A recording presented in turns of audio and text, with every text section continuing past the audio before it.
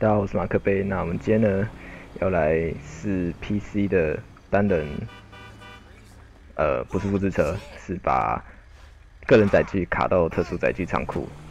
那把个人载具卡到特殊载具仓库有什么用呢？那用处就是我们可以用互动选单的特殊载具的选单，把我们的个人载具叫出来。那这个叫法就不会有 CD 时间，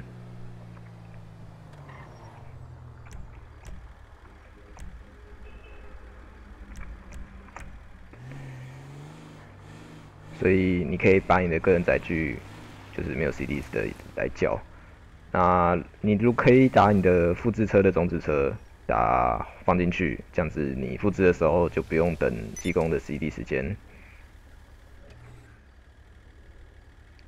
对，好，那我们要先抢抢一台路人的车。那我建议是一台比较大台、有力一点的车啊，因为我们要真的要来推车，所以对之后就会知道了。OK，那我们设施要放满车子，然后里面要一台是你想要被换进设施的车。那呃那台车子就会被换到放到那个特殊载具仓库里面去。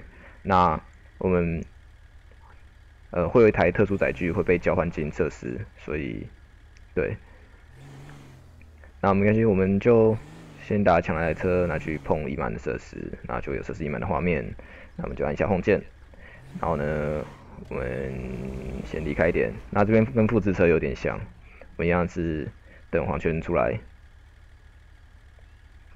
然后开互动选单，然后再。呃，你车子离开设施的后轮离开设施的瞬间，打互动选单关掉，那我们就有设置隐瞒画面，那我们就按确定，哎，然后就什么事都不会发生，然后这时候我们就把我们的特殊载具叫出来，那我是用我是只有开放者啦，那如你可以用水陆电液，水陆电液应该会比较好推，那我们等下要来推车。这就是为什么我会建议要有力一点的车，对。好，我们如果你有朋友的话，你可以请朋友把车子开到黄圈旁边。那如果你没有朋友的话，像我这个边缘人，好，其实以前在旁边听，所以现在玩战车世界不来帮我，所以我只好自己推，就打再去推到黄圈旁边。以前怎么不讲话？打。好，以前他讲话了，他已经证明了我我我有多边缘。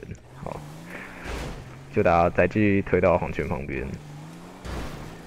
紫薇应该会比较好推啊，但是我就只有开放者。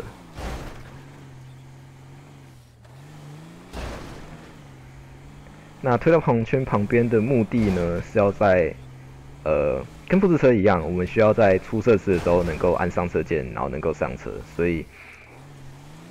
不能离太远，否则你的人物就不会上车。哦，刚推好远啊，你一下。啊，接下来从侧边推一点。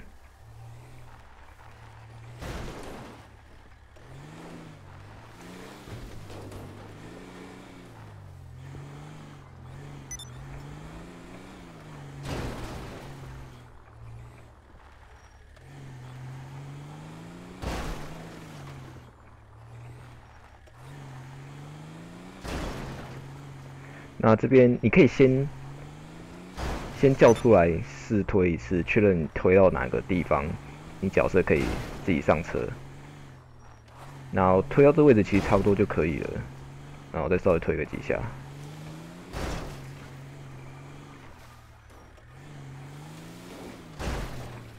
好，那接下来呢，我们就把车在已经卡过的车子开进设施。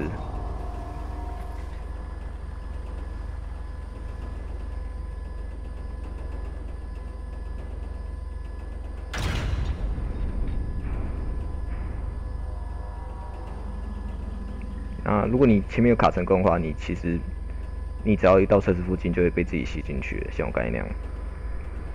那接下来应该会有替换画面。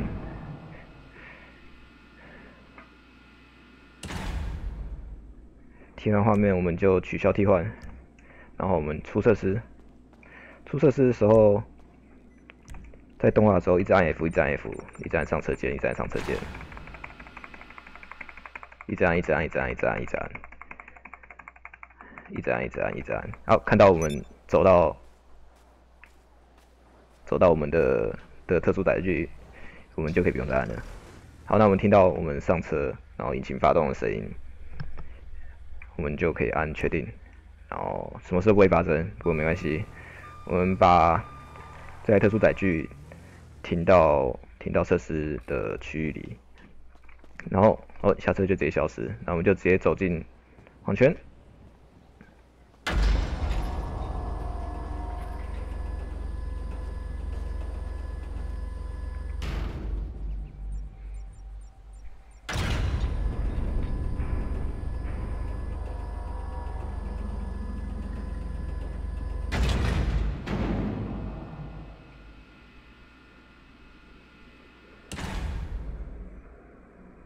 好，它就会出现替换的的画面。那我们就打我们要换到放到特殊载具仓库的车，就把它替换掉。哎，这样子我们的特殊载具就会卡进设施，然后我们的装置车或者是任何你想要放进去的个人载具就会就会放到特殊载具仓库里去了。那我可以出去示范，哎呦，示范轿车一次。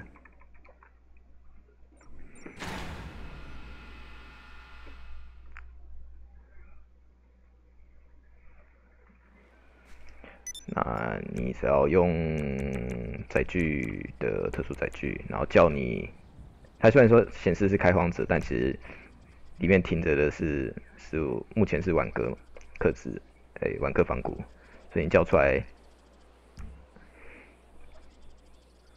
当然就是挽歌仿古了。然后你也可以用这个好处，就是你可以直接送回去，然后一直你可以一直叫一直叫，不用 CD 时间。